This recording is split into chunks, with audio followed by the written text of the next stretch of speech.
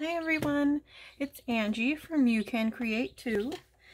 Today's project is a little booklet bound with fabric that is inspired by I Plan to Create on YouTube. And I will link her video down below. So what we're going to need for this, you'll need some book page, which I have right here. If you want to decorate, which I've done, I have some little polka dots. You'll want to get your stamps and some ink out. You don't have to do this. This is just what I did. You'll need about a two to two and a half inch wide strip of fabric that's the same length as your book pages. And remember, you don't have to use a full book page. Here I've cut it down to make a smaller one. You'll need some embellishments. You'll need your glue. I'm using some tacky glue and some all-purpose glue stick. I'm also going to use some Fabri-Tac to adhere my fabric to my book pages. On the inside, we'll make some pockets and then you can stuff it with tags and journaling cards and all of that kind of stuff. So let's get started. So the first thing you'll need are some book pages. I have some of these that are from a newer book. It's a little bit heavier paper. And what I'm going to do here is I really love this book uh, that I have that's from the 1800s. But its pages are so thin and delicate that they won't hold up on their own. So what I'm going to do here They're just so fragile. What I'm going to do is take my glue stick and just put a generous amount on here.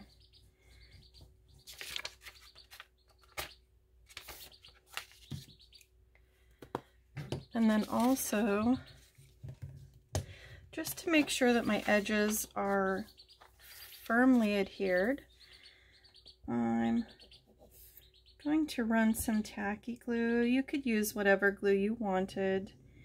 Um, if you don't want to glue, you can stitch these down, which is what I did in the first one that I showed you. I just used a little bit of glue to hold it in place, and then I stitched it on my sewing machine to give a nice decorative edge. Okay, so now that we have that, I'm going to do another one for the for the back page.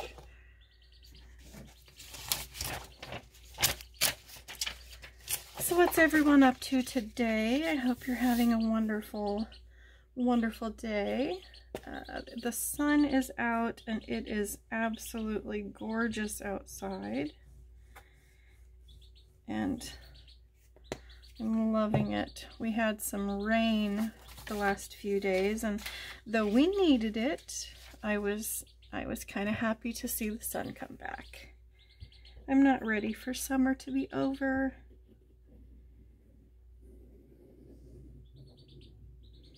And remember, if you don't want to glue, you can sew. If you don't want to sew, you can glue. Excuse me, just do whatever works best for you. I like I like it both ways. I, I did the first one excuse me. I did the first one where I stitched it. And then this one that I haven't uh, completely finished yet, I just glued it. I didn't do any stitching. And Remember, you don't have to do your pockets exactly like I do. You can change it up. This I did three diagonal, or two diagonal and one straight across tuck. And this has pockets here and here, and on the front. So this is just an idea, and you can run with it. That's certainly what I've done.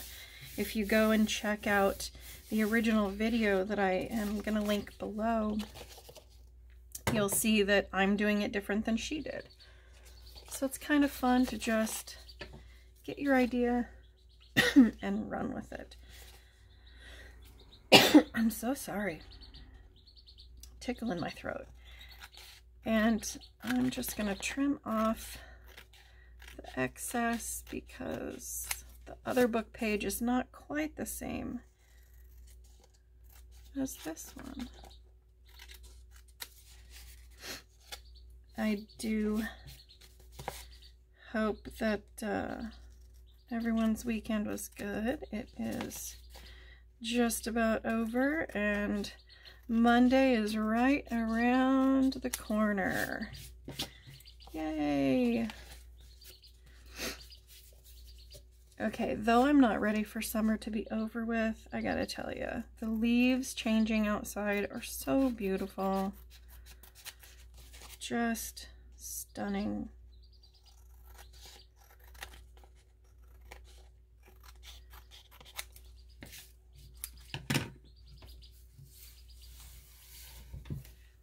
Okay, so what we'll do is figure out which one we want on front, which one we want on back. I'm going to give a bit of a stamp just to give it a little bit of interest.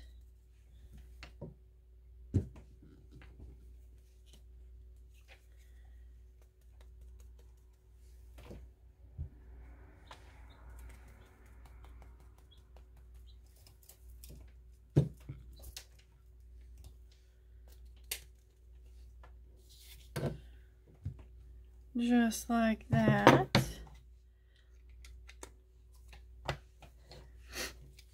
Okay, so what I'm going to do is this one will be my front, this my back.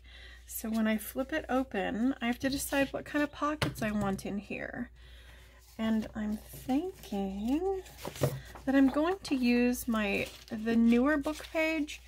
It isn't as aged looking, however, it is a sturdier paper and you don't want your pockets to rip open and and uh, when you try to stuff it so. Because that would not be good. All right so I've just taken a book page. I folded it in half.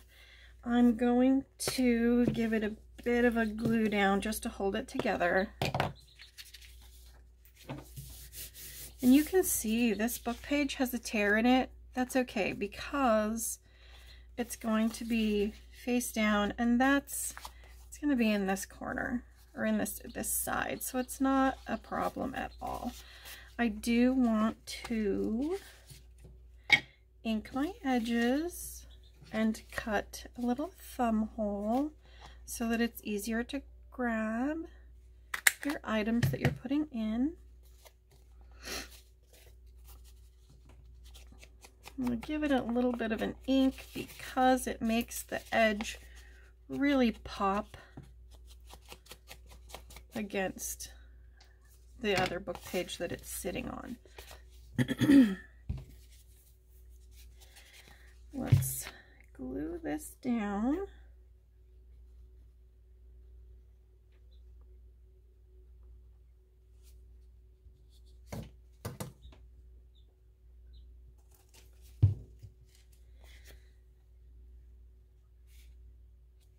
So right here, there's our front page, or the pocket on the inside of the front page. I'll trim this off because again, this is the book page that I'm using for a backing and it's slightly wider than my one from the 1800s that just has this beautiful patina on it. Okay, we're halfway there. Can you believe it? This is such a fast project. I love it. And then you get to just decorate it however you want. I think for this one, I'm going to have a tuck, a side tuck. So you want to fold your book page about however wide you want your tuck to be. I'm going to basically fold it in half. Give it a bit of glue just to hold those layers together. Because it's such a, la a, a large tuck. You don't really need a thumb hole, but I kind of like the look of it, so I'm going to go ahead and put it in there. Again, give it a bit of an ink down because it makes that edge pop. And it's going to go just like that. So let's put this guy down. And here you can see that paper was torn because when I took it out of my book, it was not, I didn't do a very dainty job of it. Which is fine because you know what? This is a junk journal and it's okay. If we have ripped edges, I kind of like that, especially if you hit those ripped edges with a bit of ink. Oh my gosh, the distress ink. It makes them really pop and it's so pretty. Okay, so there is our tuck.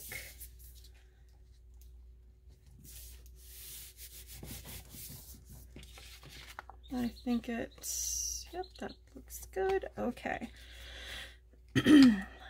so next, I'm going to go ahead and ink up my edges just like this, front and back, I love that look. You certainly don't have to do it if that's not your style. You do you. That's what this is all about. Figuring out what your style is and what you like and running with it. You don't have to do um, this edge on the outside, but you do want it on the inside, the one where the binding is going to be. I made the mistake of not inking before I put the fabric on, and you can still ink. It's just a little bit a little bit trickier. It gets a little fiddly when you're trying to work around the fabric and ink up the edge of your paper. And you can see I, the way I ink, I am very messy and haphazard just because that's the way I like the look. I like it to look grungy and imperfect. That's just, it's just my style. Okay, so now we have our front page. It'll open with a pocket there. Back page has a side tuck, and that'll be our back cover. So now what we want to do is get our fabric out, and I'm going to use this really lovely old woven fabric. It tears beautifully. it frays even better. Excuse me, you can see I am not even measuring. I'm just giving myself about two, two and a half inches.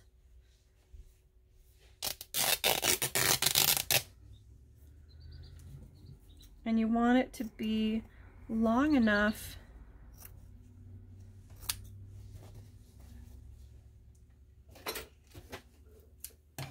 long enough for your page. So this is extra long.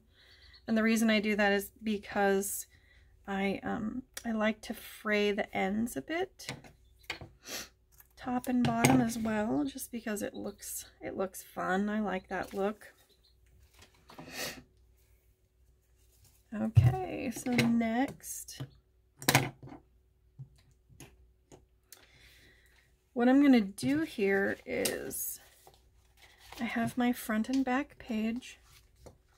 I'm going to open it up front and back and then take the two of them, flip them over. And the reason I do that is so that I make sure that I have my front on the front, my back on the back, and they're both right side up when we flip it back. I like to have about a half an inch spread between the two. Excuse me. I need my hot tea this morning. I like to have about a half an inch spread between the two. That way, when it opens, you have a lot of room, a lot of gusset to really stuff this if you want to stuff it and give it as a gift or something. so I'm going to run my Fabri-Tac right along here.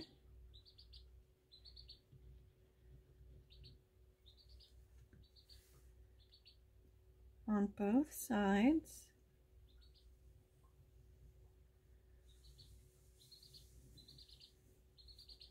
And here is where, if you wanted to stitch this, you certainly could. You would use less glue because you're going to be stitching it, so you don't need all the glue. And then I'm going to take this, lay it right down, give it a good press.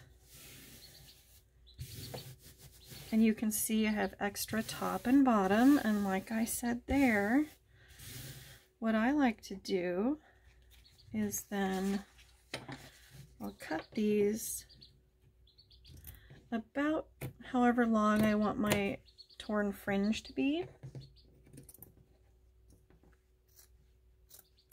Just like that. And then I will sit and pick these extra threads out.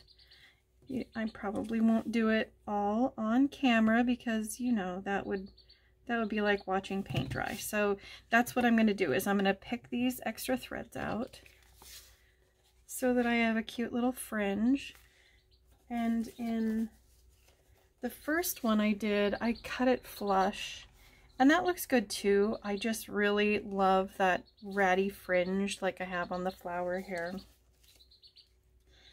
So this is the base of our little booklet.